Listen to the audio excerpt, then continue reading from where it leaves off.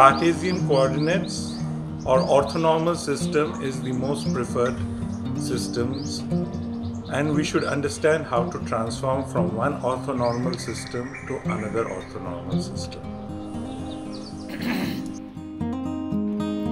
So, uh, in my uh, previous uh, sections, I have talked about uh, different types of uh, transformation. I have talked about uh, a class of transformation that is created, creating a nested group of transformation. The necessity for creating this, this this wasn't there part of the in the book, but this is taken from the MIT courseware this sort of tells us how how the uh, different transformations are connected with each other. And as we move up up in the nest that uh, we see that uh, slowly and slowly the um, the invariants uh, keep decreasing. And finally when uh, when I have the the projection transformation or perspective transformation even parallel lines don't remain parallel.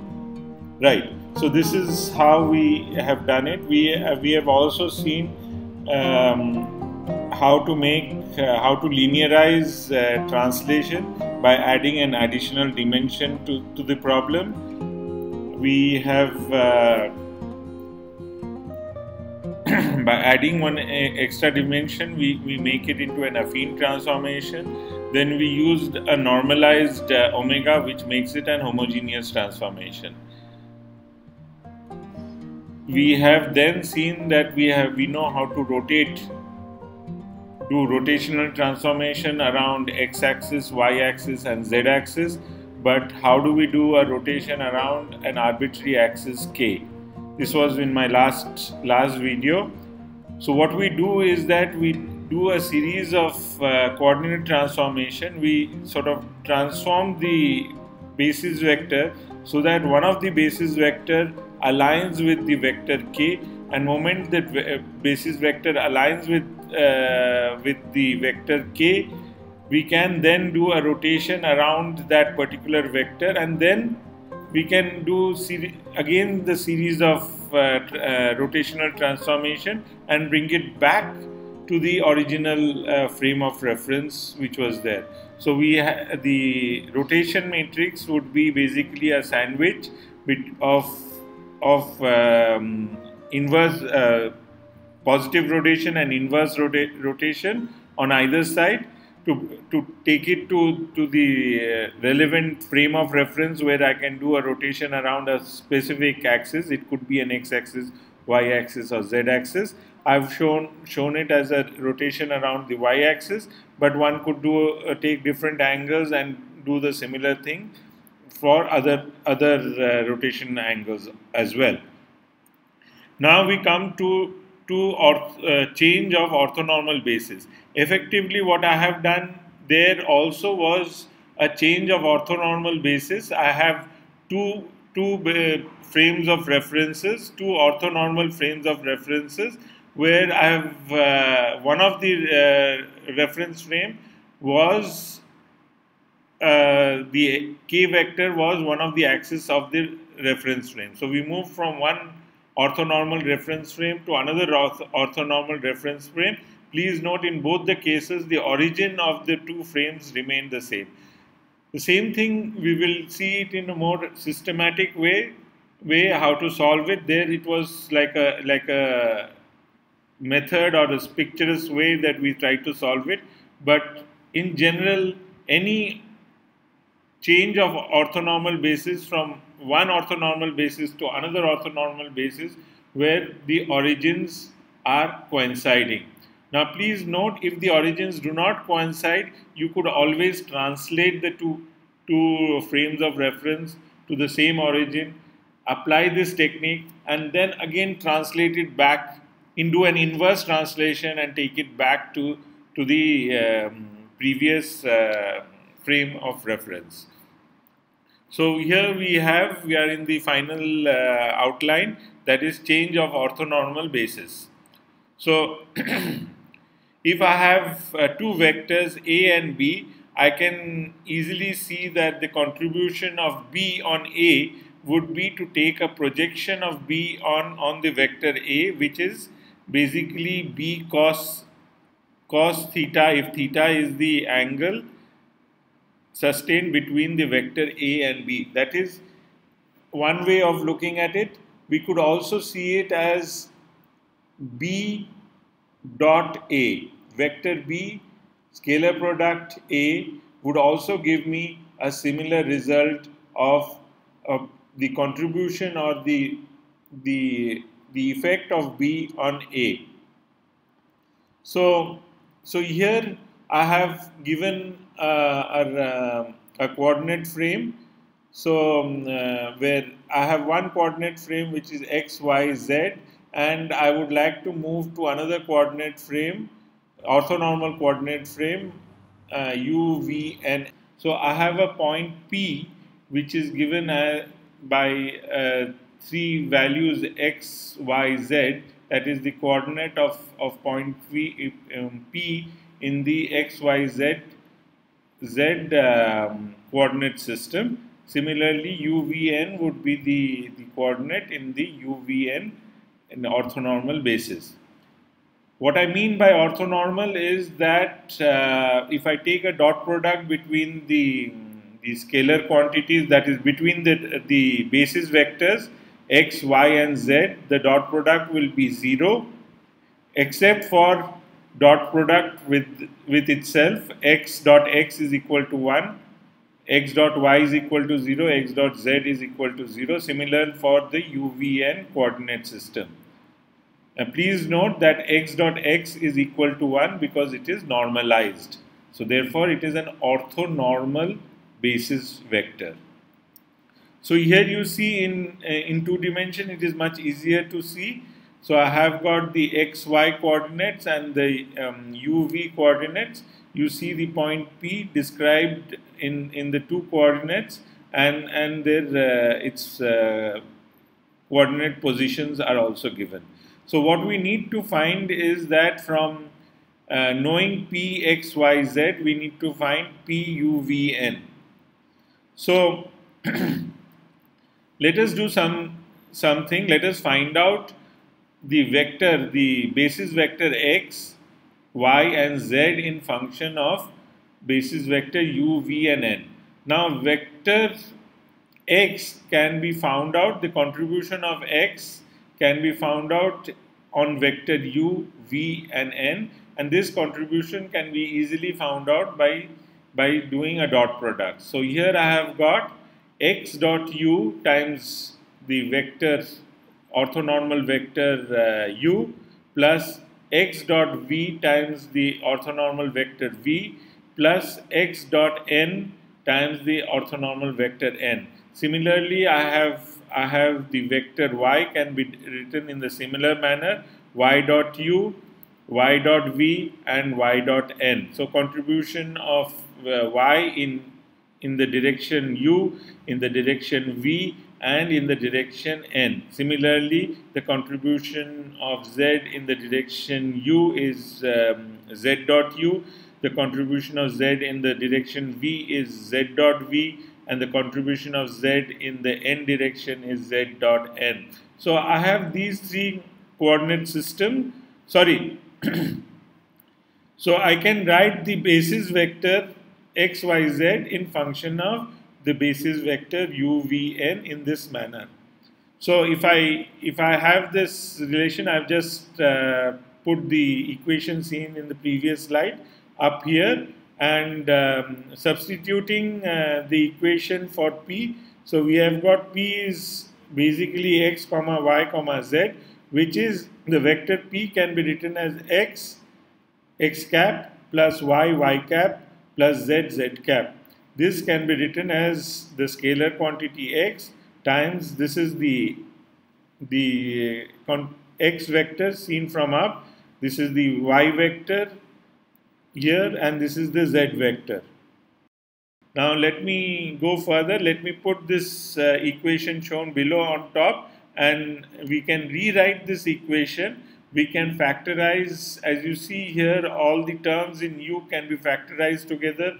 All the terms in v can be factorized together and all the terms in in n can be factorized together. So I have this first line where where I have got this scalar scalar x times x dot u plus y times y dot u plus z times z dot u. This whole thing is uh, multiplied to to a uh, to a u cap. Similarly, the second line is multiplied to v cap, and then I have the third line which multiplies to n cap. Now, pushing this equation on top, I can express. I know that P is equal to UVN and uh, which can be written as U U cap plus V V cap plus N N cap. So comparing these two equations, we can easily say that U is equal to X, X dot U, Y, Y dot U, Z, Z dot U and similarly for V and N. So what we have done is that we have we started with x, y, z, and we we determined u, v, n in this manner. Now these equations can can be simplified or written in a simpler manner in a matrix format.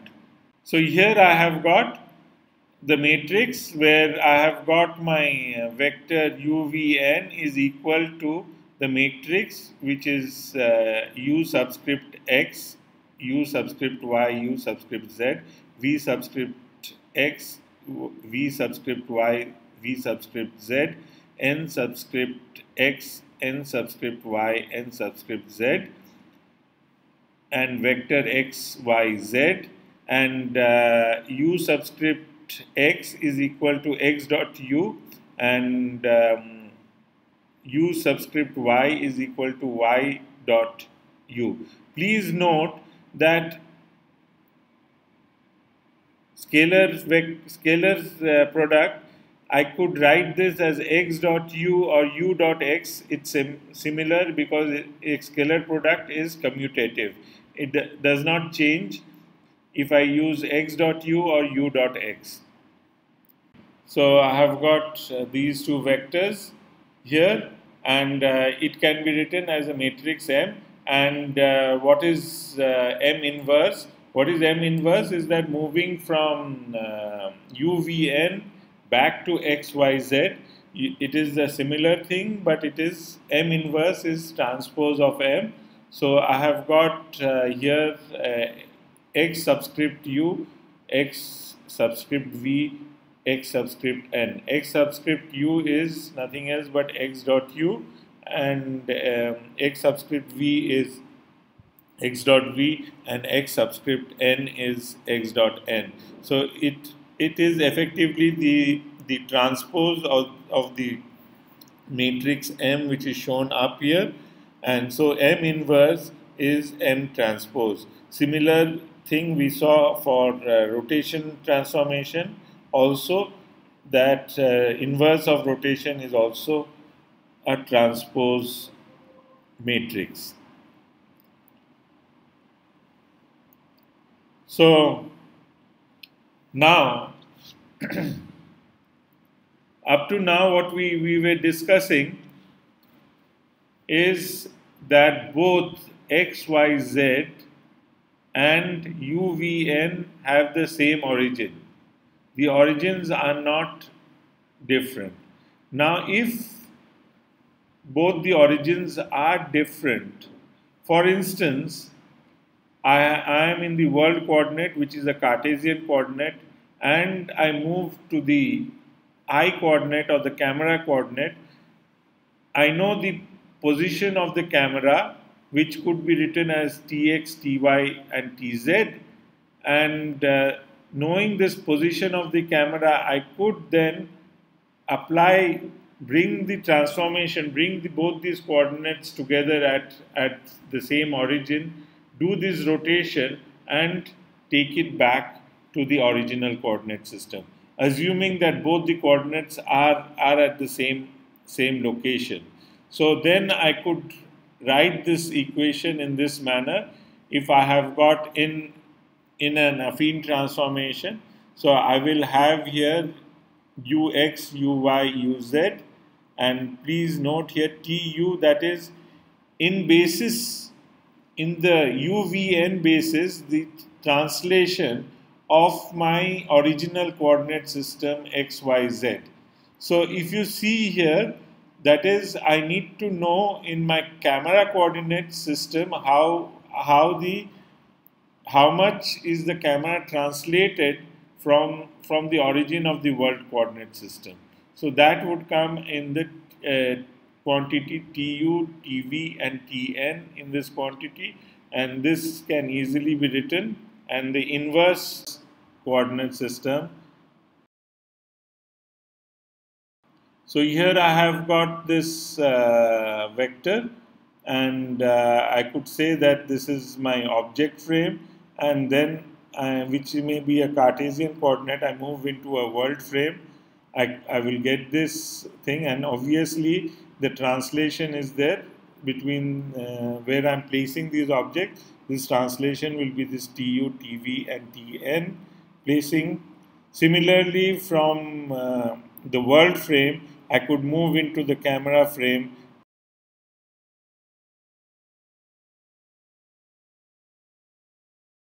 Now supposing if I have a rotation around an arbitrary axis k. Let us draw the axis. Let we have the three-dimensional coordinates x, y, and z. And if I draw an arbitrary vector k, and let us see if I would like to rotate a point P around this vector k, that is the rotation plane is perpendicular to the vector k. So P rotated by, by theta will move to a coordinate p theta superscript theta, x superscript theta, y superscript theta, and z superscript theta.